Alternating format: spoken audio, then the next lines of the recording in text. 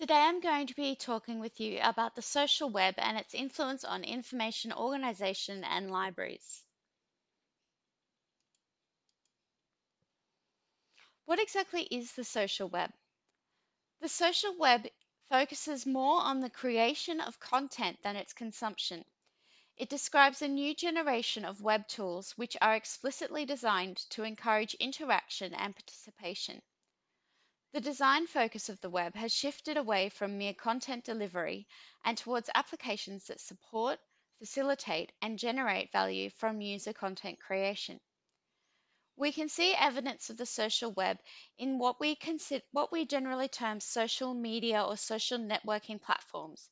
For example, Facebook, Instagram, social bookmarking platforms, for example, Pinterest or Diigo, and uh, other content collection or content sharing platforms, including YouTube, Flickr, uh, Pixabay, anything that allows individuals to interact with other individuals and to create and or share content via the internet.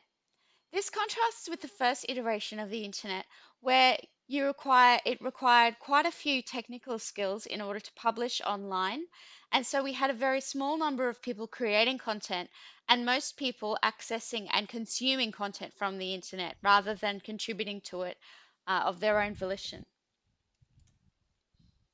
So, how does the social web influence the practice and business of the library? It does so in many ways. One way, and most obviously, is through outreach. The social web allows the library to connect with people who are not necessarily physically within the library space. In taking advantage of this means that the library can connect with users and offer their services by communicating these through channels where users might be uh, connecting and uh, existing with other people rather than um, having to wait for them to physically enter the library. So we've got two examples here from Inst Inst Instagram. The first is from the State Library of Queensland, where they're celebrating Library Lovers Day on the 14th of February and using this opportunity to advertise their new look user friendly website. So basically, they're taking advantage of a popular day and uh, using it to connect with and reach out to potential users as well as those people who are already aware of what the state library does uh, offers in terms of services. This particular uni library is taking advantage of Instagram to connect with users in order to reach out to them and share that they are providing information at a stand for student orientation. Normally, without the use of a tool like this, the library would be only able to connect with and offer support and provide information about their services to those people who physically walked past their stand on the university campus. But using Instagram, they're able to advertise uh, and connect and share the types of things that they're able to, that they're able to offer to students in a space where students are likely to encounter them uh, in, when they're being on when they're online. They've also used quite a number of hashtags, for example, graduate, research, orientation, in order to collect a much wider audience because they recognize probably that not too many people actually follow their Insta- the library Instagram account, but that people might have a hashtag search or be subscribed to the hashtag, which is much wider, for example, research or graduate. And by doing so, they're actually able to harvest the interest and attention of a much wider uh, community of people and let them know of the services that they're offering. Along a similar line is the capacity to use socials, uh, the social web for marketing and promotion. Here we've got two examples from school libraries and they're both on Facebook.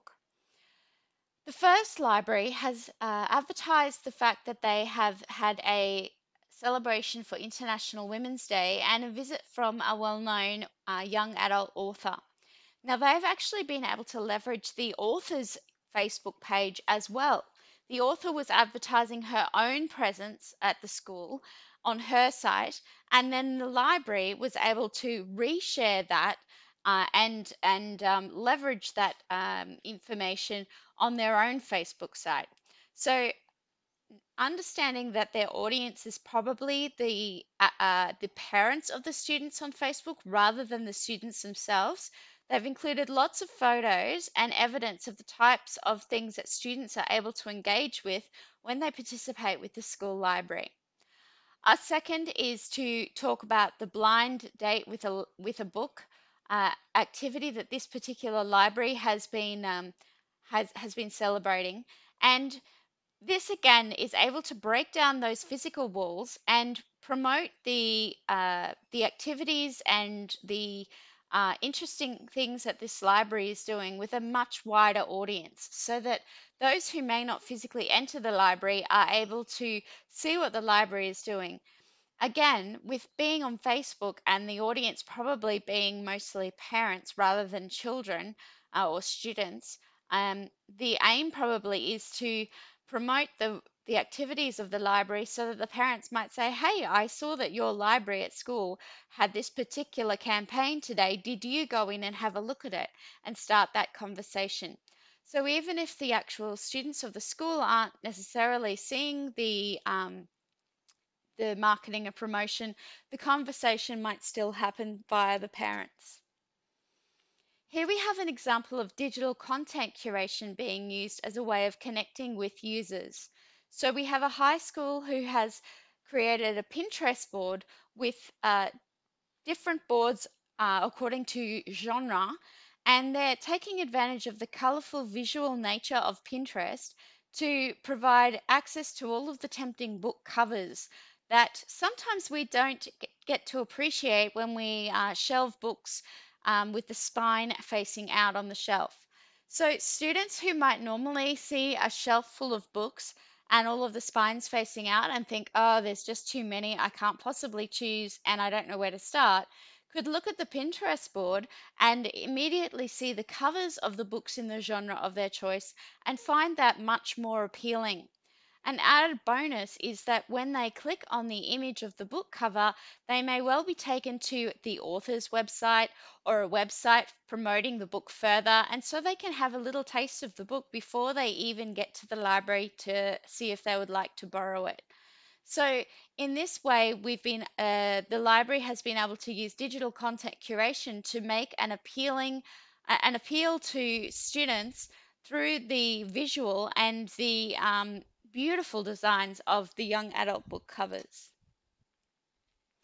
User generated content is a lesser known and lesser used aspect of the social web for libraries, but some of the larger libraries are definitely taking advantage of it. Basically, what the libraries are doing is using social web platforms in order to gather and harness the power of the crowd to create and collate data and information which otherwise might not have existed within the library. So here we have an example of Trove using um, Twitter to advertise the fact that they have opened up some of their scanned files of historical artifacts to the general public so that if the general public or individuals are interested, they can go in and make corrections of the OCR or optical character recognition uh, to make sure that the information that's been scanned in is actually accurate. There's quite a lot of people who like to spend a little bit of time each day or each week volunteering in this way, making text corrections on uh, historical documents which have been scanned in. And it, by appealing to the general populace to spend a little bit of time just doing a little part, a little, making a little contribution, they're actually able to get a lot more corrections done than if they simply relied on the staff of the library. And you can see here that they've already had an individual say, Oh, yes, I'm onto that now. I'd love to do that. And then Trove has been able to reply back immediately saying, Greatly appreciated. Thank you so much for taking the time to enrich our content and enrich our collection from your contribution of user generated content. A second example is the State Library of Queensland's use of Historypin. So, the State Library has a massive collection of photographic resources. However, Uh, they uh, acknowledge that the photographs on their own could be greatly enriched if people could contribute further information about the photograph. Perhaps they don't know where the photograph was taken or what the photograph is, what geographical location the photograph is showing.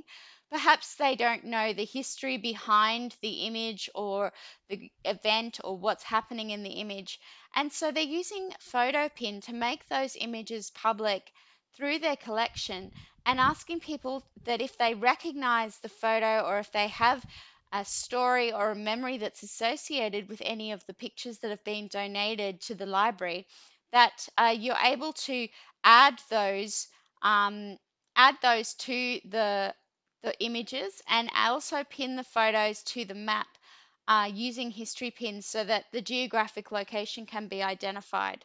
So uh, this is um, this is actually quite an interesting project because they're leveraging the knowledge and the history um, that the general public has, and through the social web, they're able to harness this information and enrich their collection.